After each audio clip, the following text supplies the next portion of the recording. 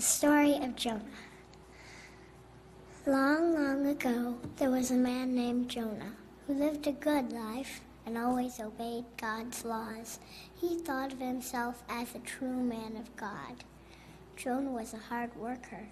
Through his labels, he was able to buy chickens and a donkey and a goat. One day, God spoke to Jonah. Jonah. Huh? Jonah. Who is that? My earring ditch? Jonah. I am the Lord of God. There is a city called Nineveh far away. It is filled with people that have become wicked lives. They have forgotten about kindness and helping others. Why are you telling me about them, God? Because I want you to go there and tell those wicked people I am going to destroy them in their city because of their wicked ways. Ye, yes, Lord, I will go, but they won't listen. They're evil. The more Jonah thought about it, more uneasy he became. That night, Jonah did not sleep very well. No, it'll hurt me. Nineveh is so far. They'll laugh at me. No! Jonah was denying God's plan for him. Nineveh? Those people don't even know about God. Why should they believe me? They might even try to kill me. The more Jonah thought about those wicked people, the more frightened he became. He decided to run away from God. That very night, he packed his clothes and hurried to the seaport. That the next morning, he saw a ship that was getting ready to sail far across the sea. Who? Who goes there? Uh, Jonas, Sure. Uh, please, Captain, let me come with you. I'll give you all my money for a place on your ship. Huh. Looks like trouble to me. Yes, I wonder what he's running away from. Well, I guess we can find a place for you. Jonah boarded the ship and hid deep in the hold, as far away from God as he could. At last, he saw the anchor being drawn up onto the deck. At last, we're heading out to open sea. God will never find me now. I'm going to have a new life for myself.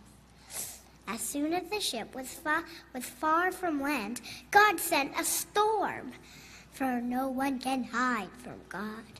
Sent God sent great gusts flying over the sea and waves tossing over the ship.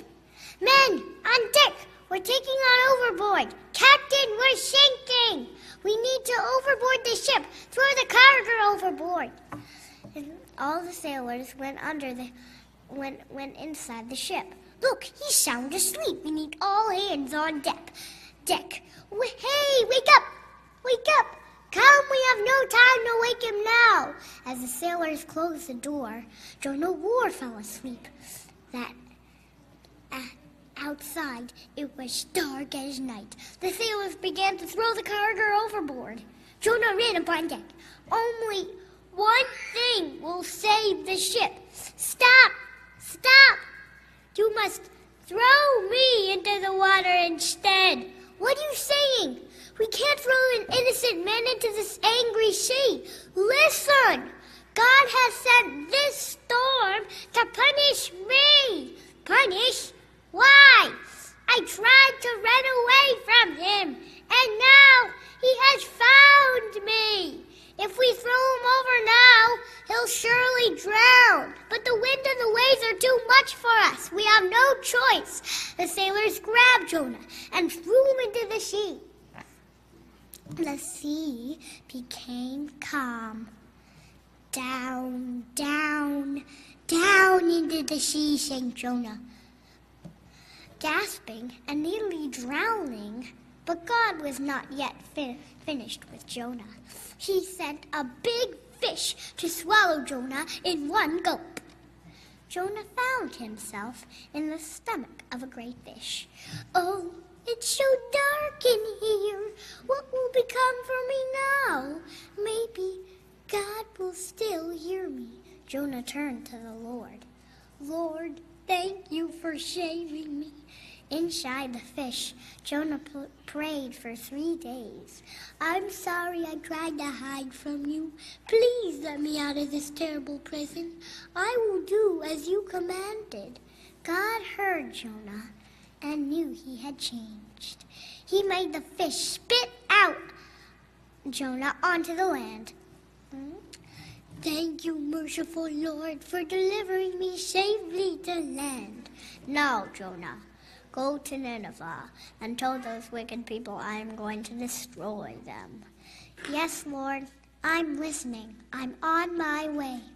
Jonah entered the city, calling to the people People of Nineveh, listen to me. The Lord God will destroy you and your city. Stop your wicked ways. What? Did you hear that? You have angered God. He says the Lord is angry with us. Why? What have we done? You are vain and selfish. Maybe if we change our ways, we've been too concerned with our fancy clothes. You are greedy and unkind. We should share our riches with the poor. You are wasteful as the poor star. We've been eating too much and not caring about our hungry neighbors. It's true. We've been selfish. God will punish you. We must all pray to the Lord for forgiveness. The people heard Jonah, prayed to God, and, be, and began mending their ways. Meanwhile, God, Jonah climbed a hill above the city and sat down to watch God dis- destroy it. He waited and waited I feel like a fool. All my work has wasted. God is not destroying Nineveh. Jonah. Yes, Lord? Jonah, will you never learn my love? My love is great. It is greater than my anger, and it is for all my creatures. Didn't I give you another chance? Yes, you did. Now I am giving the Ninevites another chance. Go now, Jonah and try to love as I do. Then you will be a true man of God. Yay for God! He has forgiven us! Yay! Rah! Hooray! So Jonah began his long journey home and tried to love as God had taught him. The end.